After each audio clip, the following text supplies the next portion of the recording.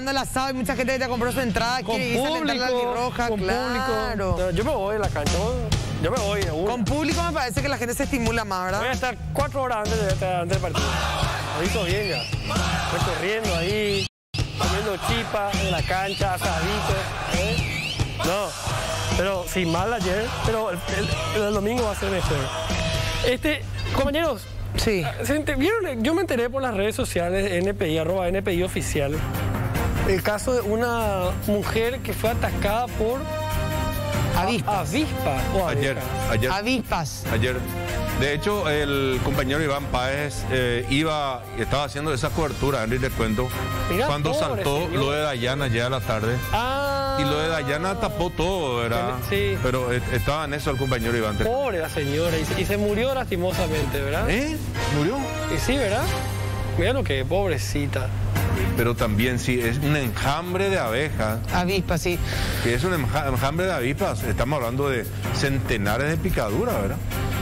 Vos sabés que pueden ser letales. A veces uno no mide, pero eh, eh, estos Que insectos una te pequeñitos, imagínate. duele. No, No, duele, pero imagínate que un mosquito que casi ni le sentí cuando te pica, te, puede transmitir, ¿verdad? Además, la. Pero las avispas y las abejas también cuando tenés alergia. no Eso, sabes lo eso. complicado que es. Yo ya había unas personas que le picaron abejas y se hincharon todo peligrosísimo. A mí que picó rajar el hospital. pobrecita, en mi- a mí me picó en mi nuca ya, una, dos veces ya. No, la avispa. En el mismo con- lugar y en, la, en Ciudad del Este las dos veces, increíble. La mano. Una avispa duele, como dice Dante, muchísimo. Imagínate un enjambre.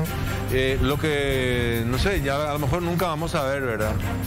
Eh, que la señora, ¿cómo puede ser? Estos animales así, en forma totalmente espontánea, nomás le, le- le ataca a alguien o la señora tocó algo algún del nido, árbol. algún nido. ¿Verdad? Tocó algo ahí del árbol, no sé, quisiera, quis- eh, queriendo, no sé, podar o, o sacar una fruta, no se percató que había un panal un nido de avispas y Nido. tocó, pero ya, a lo mejor ya no nos vamos a ver nunca. ¿no? Está nuestro compañero Iván Páez, está, a ver, en el contacto en vivo justamente sobre, sobre este tema. Hola Iván, buenas tardes. Muy buenas tardes compañeros. Efectivamente, ayer reportábamos este episodio que realmente causó primero mucha preocupación y conmoción en toda la ciudad de Villaliza, particularmente en, el barrio en donde ocurre esto. Y hoy lamentablemente ya tenemos que reportar el fallecimiento de esta mujer de 88 años que fue atacada por un enjambre de eh, abejas, avispas, según el informe descrito por la Policía Nacional. Ella fue asistida hasta el hospital aquí de la ciudad de Villa Elisa. Se llegó a estabilizar en algún momento, pero hoy lamentablemente fallece.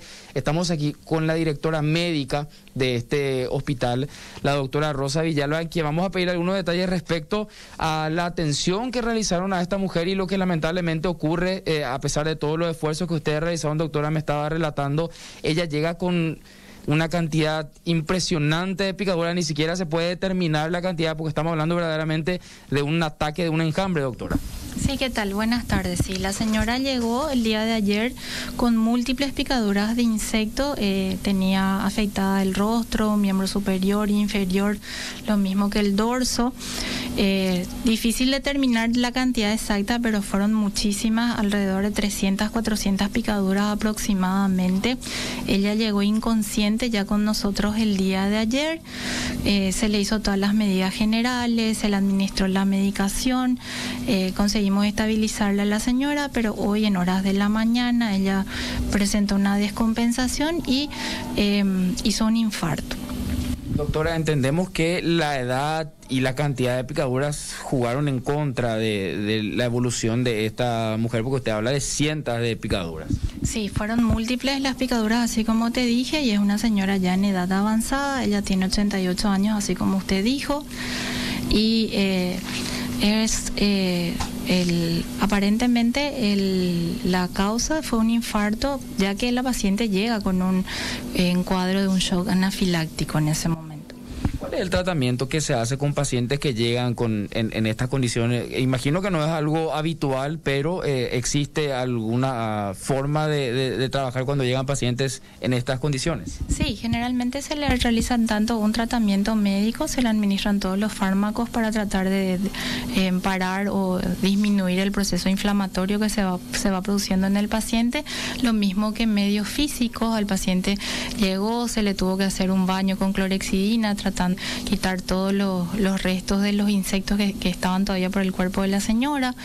Eh, ella llega con nosotros todavía em, en la parte superior, ya, eh, específicamente en la cabeza, presentando todavía los insectos por los cuales ella fue atacada, ¿verdad?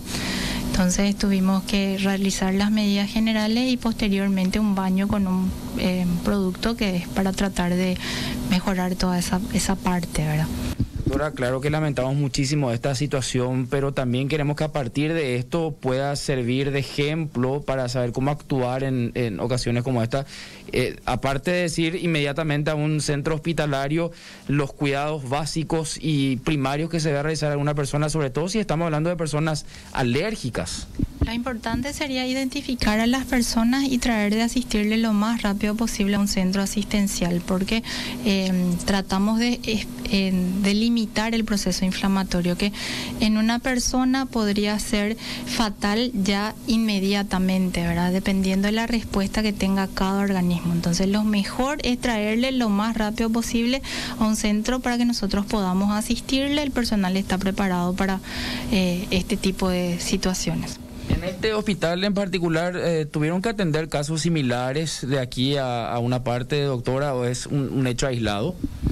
Yo había recordado que sucedió esto en algo similar, pero fue hace más de cuando el hospital nosotros empezábamos hace 10 años más o, más o menos, donde también hubo un ataque de insectos, pero era a un grupo de gente que estaba en una cancha. Entonces tuvimos múltiples pacientes en esa ocasión eh, me acuerdo que llegaron como 30, 40 personas, eh, todas con picaduras de insectos, ¿verdad? Pero no, eh, eh, no de la misma magnitud porque ellos no tenían tantas picaduras como la que llegó la señora, ¿verdad? Tenían cinco, siete picaduras. La señora, te, cuento, tiene más de 300 a 400 picaduras aproximadamente. Le preguntaba esto, doctora, porque ayer en algún momento incluso se habló, de invasión de abejas en Villaliza, entonces para dar un poco de tranquilidad también. Es un caso aislado, lamentamos por supuesto el fallecimiento de esta mujer, pero no se han dado otros pacientes atendidos en estas circunstancias? En, el caso que yo conozca, no. Este fue, ya te digo, eh, así de esta magnitud, el primero que yo me acuerde por lo menos. Le agradecemos, doctora Rosa Villalba, por este reporte y reiteramos entonces, una mujer de 88 años que ayer en horas de la mañana estaba por ingresar a su vivienda cuando es atacada por este enjambre que estaba en una planta de mango. Incluso, según el reporte policial, había otra gente en la casa, pero que no podían salir por el temor a terminar también siendo atacadas. Luego llegan los bomberos.